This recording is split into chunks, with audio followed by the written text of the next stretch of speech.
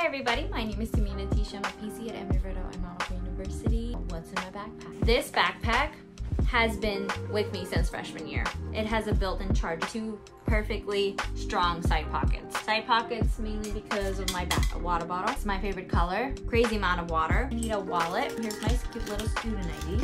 A poncho. It rains a lot. It's a laptop bag. Headsets. Holds strong, like this will stay. This has more chance of me losing it. I do need a calculator. This does a lot of work. My favorite highlighter. This, a notebook, my pen, and pencil.